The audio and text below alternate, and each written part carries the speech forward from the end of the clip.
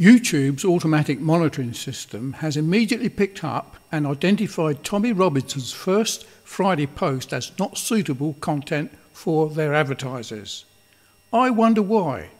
They now insist on at least a thousand views in the past seven days to reconsider its suitability for their viewers. What do you think is happening? Please view the post accessed by the link below and comment as to what you think is happening.